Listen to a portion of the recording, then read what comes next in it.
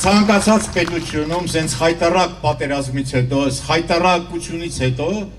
մարդ սուսուփուս դուրս կգար կգնար։ Կամ իր կուսակցությունը կպարտադրեր, կամ ազգային ժողովը կպարտադրեր։ Մենք տարբերվում ենք մյուսներից, մեր մոտ այդպես չէ։ Հերիք չի չեն գնացել, դեռ իրանք հողորտում են։ Ինչ որ նոր ծրագրեր են առաջարկում։ Թուրքիայի, Ադրբեջանի հետ բարեկամություն։ Պատերազմը ավարտված չէ մենք ապրում ենք զինադադարի օրեր։ Եվ դրա մասին է հայտարարում եւ Թուրքիան եւ Ադրբեջանը։ Իրանց ժողովրդին ուղղորդելով, որ պետք է ոչնչացնել հայերին, վերցնել Երևանը, վերցնել Սյունիքը։ Ու այդ պայմաններում երկրի ղեկավարները ասում են, որ պետք է ընկերություն, բարեկամություն անենք Ադրբեջանի եւ Թուրքիայի հետ։ Ժամանակներ կար, որ դրա համար գնդակահարում էի։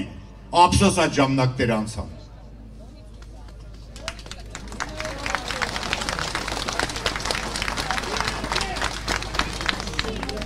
իրենք համառորեն տեղից չեք գնում։ Հիմա ես մի պահ պատկերացնում եմ, որ Հիտլերը այդպես վարվեր։ Պատերազմից մի ամիս առաջ կապիտուլյացիայի պայմանագիրը ստորագրեր եւ նշանակեր ընտրություններ։ Մենք այժմ չենք ունենա այսպիսի հզոր Գերմանիա։ Գերմանացիները հասկացան, որ այդ ֆաշիզմի էջը պետքա փակել դատապարտել, որպիսի բացվի նոր էջը։ Միջև պատմության մի էջը չփակվի, նոր էջ չի բացվելու։ Հիմա մենք գտնվում ենք այս խայտարակ էջի մեջ եւ չենք կարողանում այդ էջը մի հատ շուռ տալ։ Իսկ հաջորդ էջում մեզ սպասում են բազմաթիվ բարդություններ եւ հսկայական հնարավորություններ։ Ու փաստորեն այս էջը զորով պահելու պատճառով մենք չենք ստանում այն առավելությունները, որոնք կարող էինք ունենալ, եթե էջը կարողանայինք թերթել։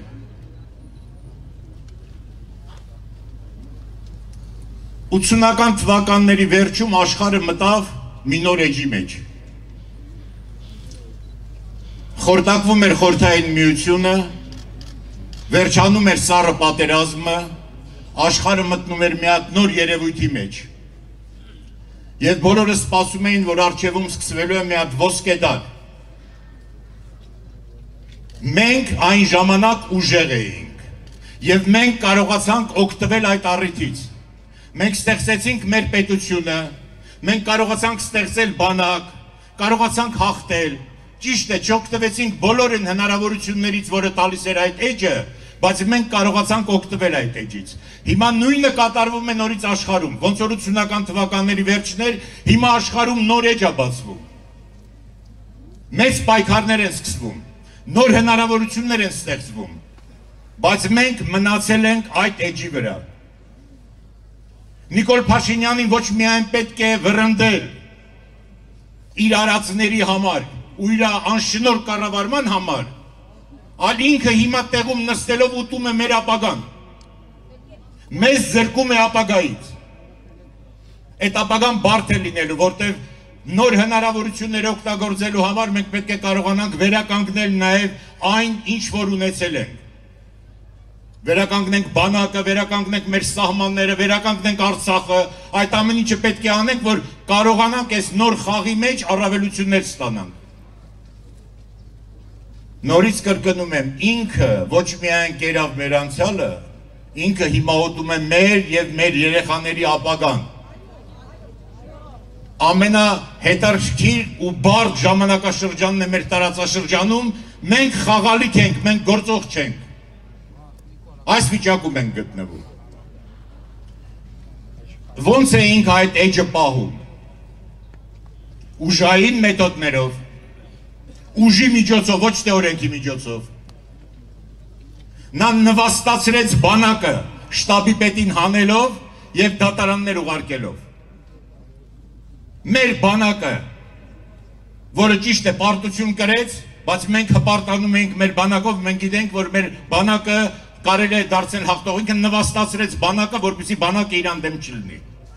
Բայց բանակը մեկը իրան դեմ է եւ մի օր ոտքի է բարձրանալու։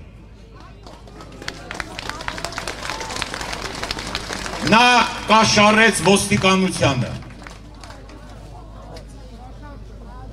Բայց եթե կաշառ տալիս են, պարտադիր չի, որպեսի դիմացին անի այն ինչ որ դու ուզում ես։ Այդ ինքը սխալ է կարծում։ Ազգային անվտանգության ծառայությունը դարավ Նիկոլի անվտանգության ծառայություն։ Այս պայմաններում, երբ որ մենք շրջապատված ենք ճշնամիներով, այս պայմաններում, երբ որ Հայաստանում վխտում են լրտեսական ցանցերը, ազգային անվտանգությունը զբաղված է միայն եւ միայն Նիկոլին պաշտպանելով։ Դադախազությունը զբաղված է իր հակառակորդներին չեզոքացնելով։ Մենք հիմա գտնում ենք այդ վիճակում։ Այսինքն ինքը կիրառում է ուժ, որպիսի մնա իշխանությանը։ Եվ խաղաղ ցույցերով դա չի գացնի։ Ուժին պետք է հակադրել ուժ։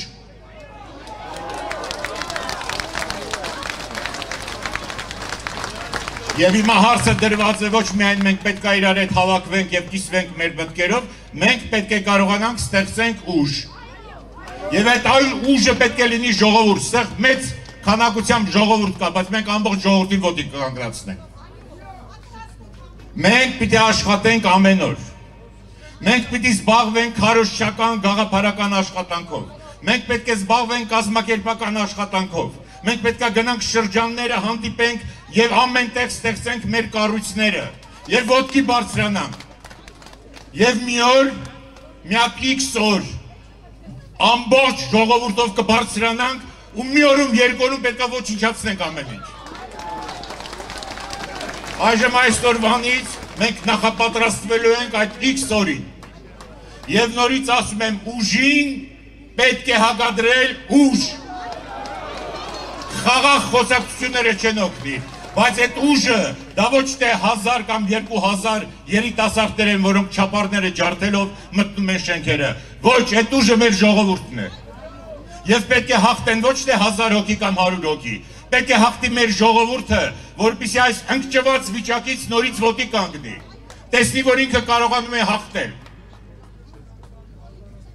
Դա է մեր ճանապարհը։ Փողոցից եկել է փողոց է դուրս շպրտվել։ Ես նորից, ես քանի որ լավ հետևում եմ ինչ է կատարվում աշխարհում, ես տեսնեմ ինչ նոր հնարավորություններ են ստեղծում մեր ազգի առաջ։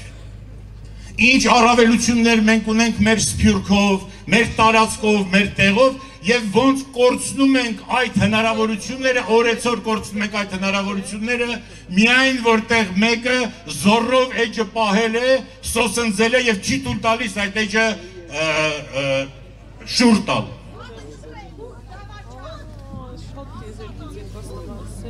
Նորից կրկնում եմ, ինքը ոչ կերավ, ոչ միայն կերավ մեր անցյալը։ Ինքը այժմ ուտում է մեր եւ մեր երեխաների ապագան։ Թույլ չենք տա։ Ես այն ձեր բանը, որ ասում եք առանց Նիկոլ Հայաստան դուրս չի գալիս։ Չեմ ուզում իր անունը տա։